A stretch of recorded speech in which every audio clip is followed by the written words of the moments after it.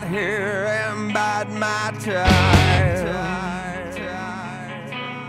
As long as it takes to get what's mine.